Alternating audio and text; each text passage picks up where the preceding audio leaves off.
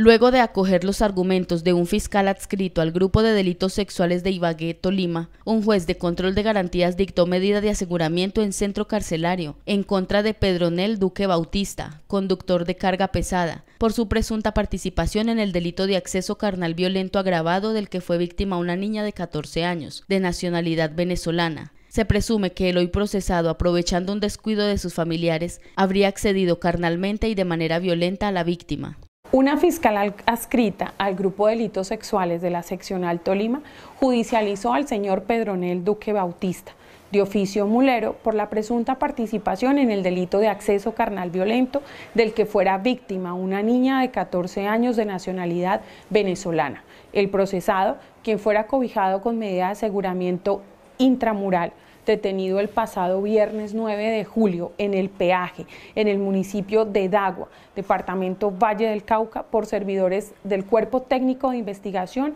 adscrito a esta seccional, quienes adelantaron la investigación en contra de esta persona, que aprovechando al parecer la vulnerabilidad de la familia, abusaría de la niña en la cabina del tractocamión, que manejaba el 12 de junio en la vía que conduce del municipio de Cajamarca a.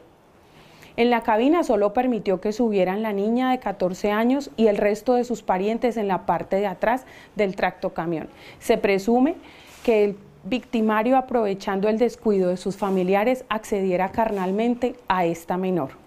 Gracias a las actividades investigativas se logra la identificación y la individualización y por medio de interceptaciones de comunicaciones se logra la ubicación exacta del victimario. Fiscalía habla con resultados.